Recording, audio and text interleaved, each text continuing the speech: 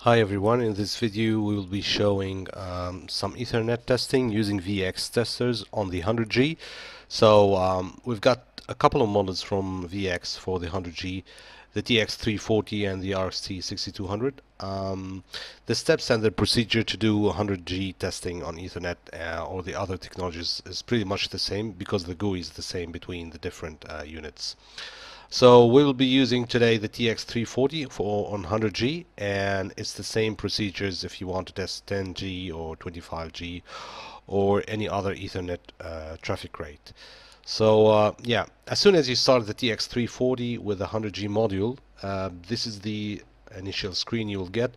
You start by configuring port 1, group 1, and you go to your QSFP or the SFP28 or whatever the uh, transceiver you will be playing with. So start with the 100G testing and you click on OK to initialize the application for 100G. So my setup looks like a loopback on the other side. So I've got the transmission analyzer TX340 sending out 100G and there's a loopback on the other side and sending back the 100G back to the TX340 100G tester.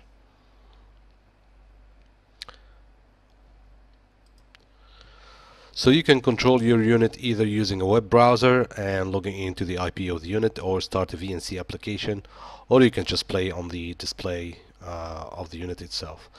So we've got the application initialized now on the 100G. So we've got 100G uh, on port 1 and the laser is turned off. You can turn it on from the right tab here. Laser on and then you start configuring the tests you want to run. So let's have a look on the throughput test. You can select each uh, either layer 2 or layer 3 so I'll stay with layer 3 you can set a V tag um, VLAN tags one or two or three tags. And yeah you can start cascading the VLAN and the tags here. If you click any of these uh, sections on the uh, traffic structure you go directly to the tabs of these um, different sections. So if you go to VLAN, you can configure the priority and the ID of the different LANs, VLANs you have there. If you want to go back and move out of this screen, just uh, press on the red cross up there. You go back to the main header setup. Um, you can, after after finishing the configuration and the whole setup, you can just press on profile, last configuration, and do a save as and save as a profile that you can use later on instead of reconfiguring every time. So that's um, the main structure. You can still configure the traffic. Go to general. If you have, want to have more than one stream you can do up to eight streams. So stream 1 has got 25% of the bandwidth or you can just click on 8 streams apply and you've got eight streams each has got 12.5% of the traffic. Go to page 2 you can browse between page 1 and page 2 on the configuration from the buttons down there. If you go to page 2 you can enable service disruption uh, service disruption time measurements and you can also see histograms for the round trip delay. Now looking at the traffic what kind of traffic you want to put on each stream you can make it like a constant traffic and select the frame size to be fixed and then you select which frame size you want to put there. And you can also choose different frame size for the other streams or you can just apply to all if you change something on one of the streams. So we are pretty much ready to start our test then. So click on the um, start button, the green one. And you can see that we're transmitting at 100 gig and because of the loopback we're getting 100 gig back. So no bad frames or poor frames, uh, pause frames, so looks pretty clean. If you click on alarm or error, you'll start injecting these. So give it a click and then you got one alarm. If you click on error, you'll get one error and you see bad frames 1 the counter started there if you go to the errors and alarms tabs so you've got already some disruption happened because of the injection we've made. If you go to events, you can see there is a service disruption time violation happening and uh, yeah you'll see a log of the events happening there so the stream summary you can see a summary of the stream here. You can see histogram. And that's the global view for the whole traffic. If you want to look at the signal um, the level and the frequency so this is the level of the receiver on the four different wavelengths. And this is the transmitter level and the frequency and some information about your transceiver the manufacturer the serial number and the wavelength. You can also get some information about the temperature and voltage. Uh, traffic. This is the structure of the traffic we played with. Delay. You can see the delay happening here. And then you can start looking at per stream information so this is stream 2 of 8 click on previous to see the previous one so we had one bad frame on first stream and it's clean on the second stream going back to stream number one if you look at the errors You've got some frame loss happening because of the errors we injected. Service disruption time, you can reset it as well. Delay, you can look at frame delay variation and frame arrival times. Rates is just a, a gauge view. And the physical control sublayer, information about the PCS.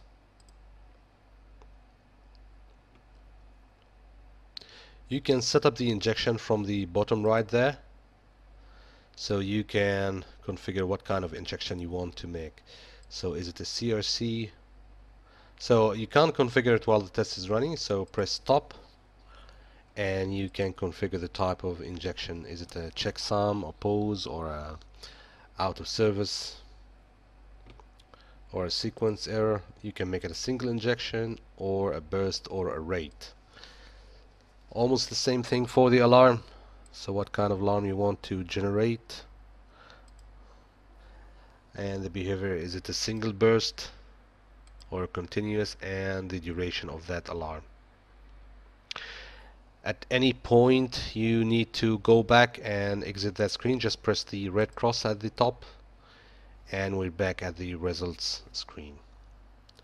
Now if you want to save these measurements just press on the save button. You will see on your browser or on your main screen of the display of the unit so I'll call this one throughput 100 gig and apply and it will be saved. Later on we will see uh, the list of results and the files we got. So that's for the throughput. We'll go now to the RFC now press the red cross to exit the throughput test. Back to the main test menu go to RFC 2544 tab. Uh, it will look pretty much the same actually like the throughput except that you will have more tabs to configure your throughput latency frame loss and burst. So the RFC consists of four things. The throughput latency frame loss and burst. We've seen already the throughput so you can set it to a maximum rate of 100% and a resolution of 1 percent any duration of 5 seconds. You can just choose the duration to be whatever you want. Latency alright you put the duration and the repetition for the latency test or you can choose to skip the latency so the RFC report will not include latency. Frame loss you put the desired rate and the step size and the duration for that test. Burst stability minimum and maximum durations, repetitions, and the rate. Also, you can enable and disable like the others. Frames, so what kind of frames you want to put on the RFC? Uh, you can select these standard frames or you can just add yours, let's say 2000.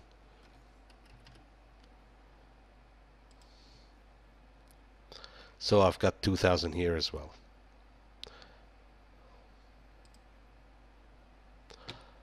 Thresholds. So what is pass and fail? You put in the thresholds for the throughput and latency for each frame size.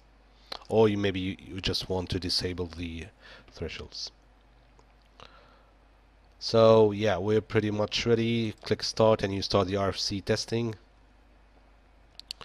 It will go one by one throughput latency frame and burstability. Remember that we just set it to five seconds just for the sake of the demo. So it will go pretty much quickly. So if you look at throughput yeah it's done. Let's look at the results throughput while the other tests are running. So this is a graphical representation of the throughput 100% you can see it as a summary. Pass 100% you can see it as a log. Yeah almost the same. Latency results. So if you want latency or jitter depends what you want to see the latency or the jitter. It will be there. Frame loss. Test has already finished because you can see that the start button the green button is now back to green. So the test has already finished. So that's for the frame loss. We don't have any losses. So at 90% and 100% for the 1518 frame size. Burstability pass and physical control sequence the information about it. And that was the signal level for the transmit and receive and the frequency. Events if any it will be logged here. So that's the throughput latency and frame loss so it's done done done. You can then click on save and do the same for the saving RFC 2544 on 100 gig. Just give it a name.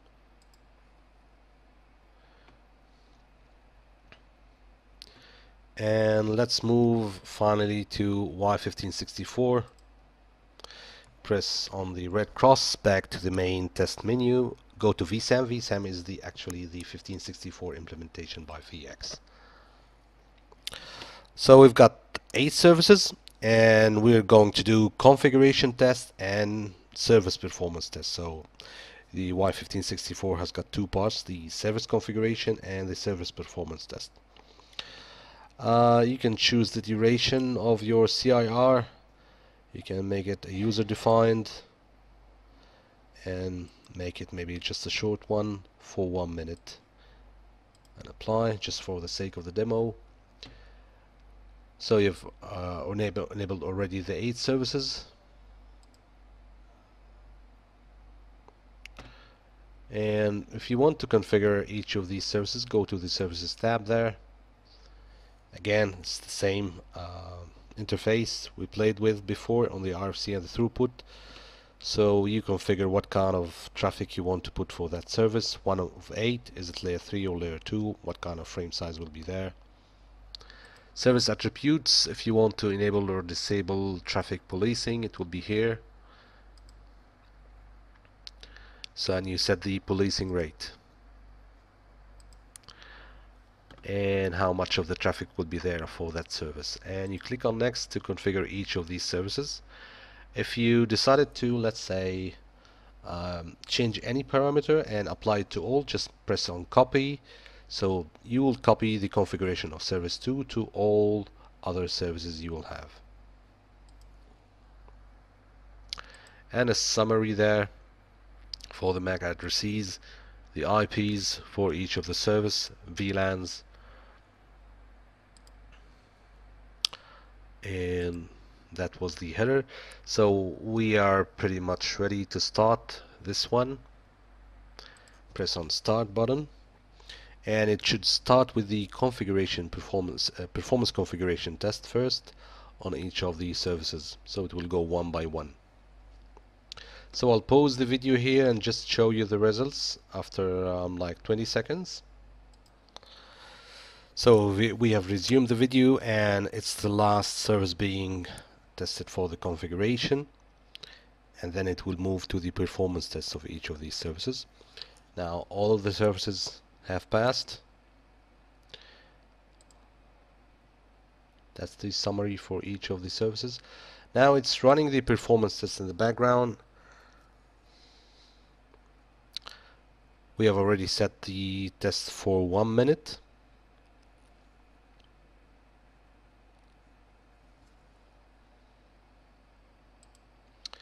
you can see per service running information and the results for service number two and you can just browse while the service is running.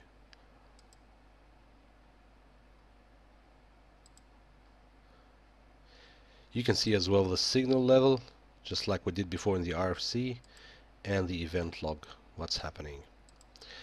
Right the performance test still running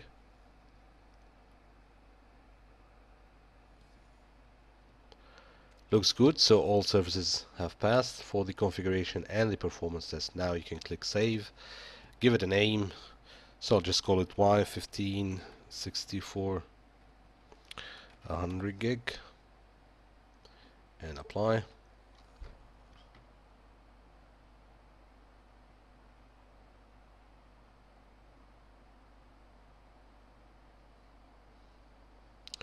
So now you can exit the Y1564 and this is pretty much the RFC throughput and Y1564.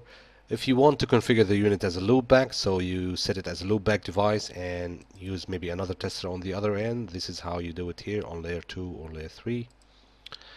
If you want to capture some packets, go to advanced and packet capture so if you've got a license for that it will, it will be enabled. Auto scripting you can run profiles sequentially from profile 1 2 3 the ones that you have configured previously. So you can run them sequentially on the BERT and the throughput tests. Now that we have saved the results go to this toolbox icon at the top left to have a look on the results. Go to files saved and you see a list of saved results there.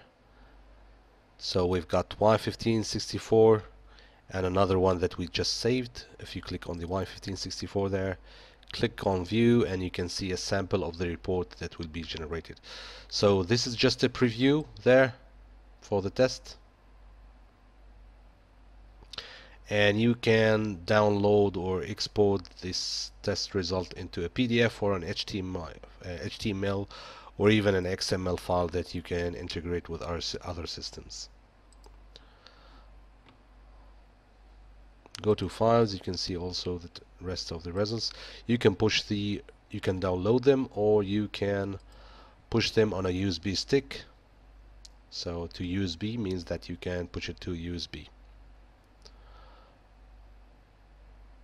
Thanks for watching and have a look on the other videos about VeEX testers. Uh, we've got also other videos how to establish easy remote, Wi-Fi connections, uh, layer 4 testing and some other videos that we keep updating as well. Thanks for watching.